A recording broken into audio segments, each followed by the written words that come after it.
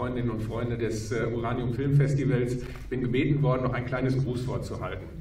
Und erstmal ist es unglaublich froh, bin ich unglaublich froh, wieder in einem Kinosaal zu sein. Ich habe es tatsächlich nach der Pandemie jetzt erst das erste Mal geschafft und ich finde es total toll, dass ihr dieses Festival in dieser Zeit durchzieht. Weil es geht bei der Covid- und Corona-Krise natürlich darum, dass wir diese Krise überwinden, aber es geht auch darum, dass wir unsere Kulturlandschaft erhalten. Und die Kinos gehören genauso wie die Clubkultur dazu.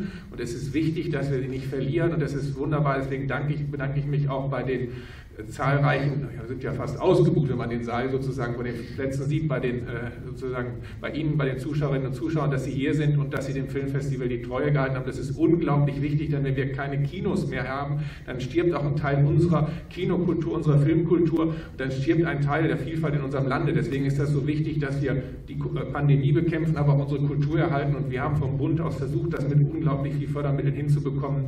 Dankeschön, dass Sie hier sind. Wir sind ja in einer Zeit, um von der Covid-Krise zu kommen, wo wir verschiedene Krisen haben, die wir überwinden müssen. Ich habe jetzt in einer Rede im Deutschen Bundestag vor ein paar Wochen die Chance gehabt und habe das mit den vier apokalyptischen Reitern beschrieben, die wir bekämpfen müssen. Und im Augenblick ist das so, dass der Klimawandel, die Klimakrise in aller Munde ist. Das ist tatsächlich eine reale Gefahr, die muss man ernst nehmen. Ganz genauso wie das Artensterben. Aber es geht natürlich auch darum, nicht zu vergessen, welche Gefahren von der Nutzung der, der, Atomspaltung ausgehen. Und da ist es natürlich auf der einen Seite die Frage der Atomrüstung, wo man große Sorgen haben muss, was im Augenblick in der Welt passiert, dass es auf einmal wieder möglich ist, dass man darüber nachdenkt, taktische Atomwaffen einzusetzen, dass es ein großes sozusagen Problem gibt, was äh, die Auflösung von Rüstungsverträgen angeht. Und man hat wirklich das Gefühl, die Büchse der Pandora und ein apokalyptischer Reiter ist wieder freigesetzt worden. Und äh, ich war im letzten Jahr zu Gast in Hiroshima und Nagasaki bei den alternativen äh, Feiern, äh, Gedenkfeiern zu den beiden verheerenden Atomwaffenabwürfen der Amerikaner und durfte dort also auch als Gastredner auftreten. Und wenn man das erlebt und vor allem, wenn man die Museen sieht und zum Teil noch mit Zeitzeugen darüber redet, dann weiß man, wie gefährlich das ist. Und es ist wichtig, dass dieses Festival auch daran erinnert und dass es sagt, es kann eigentlich sozusagen, es muss sozusagen so sein, dass wir diesen Irrweg beenden und dass es einen absoluten Bann aller Atomwaffen geben muss in der Welt. Alles andere ist inhuman, geht gegen unsere Kultur und es ist wichtig, dass dieses Festival das auch deutlich macht.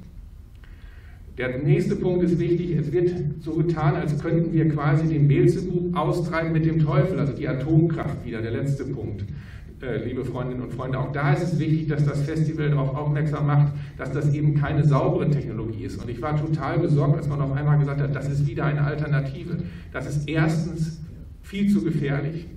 Ich kann nur, also ich war schon mehrfach, äh, äh weil ich in der deutsch-japanischen Freundschaftsgruppe aktiv bin, also auch äh, in Japan und habe mir in Fukushima das angeschaut, welche Folgen das hat. Äh, wir wissen das in anderen Ländern und es ist wichtig, dass dieses Festival auch zeigt, das ist gefährlich, dass es eine Vernetzung mit den Kulturschaffenden, mit den Filmschaffenden gibt, dass wir das weit erzählen und dass wir aber auch sagen, es gibt eine Alternative.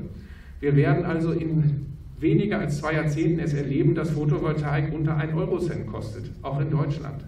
Und das ist billiger, das ist besser, das ist eine gute Alternative und das müssen wir jetzt angehen. Und dann kommen wir wieder zu der Frage von Krieg und Frieden. Photovoltaik, Wind ist überall da. Dann muss man nicht mehr einen Krieg ums Öl führen. Dann hat man die Möglichkeit, Wertschöpfung und Wohlstand zu generieren überall auf der Welt. Und das ist etwas, da müssen wir dann appellieren und damit wir als Kulturmensch, damit wir das weitergeben, als vernunftbegabte Wesen, ist es wichtig, dass wir diese Geschichte erzählen. Und dafür sind solche Festivals wichtig. Deswegen freue ich mich, hier Schirmherr zu sein und wünsche dem Festival viel Erfolg und dass wir also das noch weitermachen und vielleicht, vielleicht brauchen wir es in 30 Jahren nicht mehr, dann ist es eine Erinnerung an eine böse Zeit. Aber jetzt brauchen wir es noch ganz entschieden und ich wünsche sozusagen viel Erfolg und also alles Gute für dieses Festival jetzt und für die nächsten zehn Jahre. Dankeschön.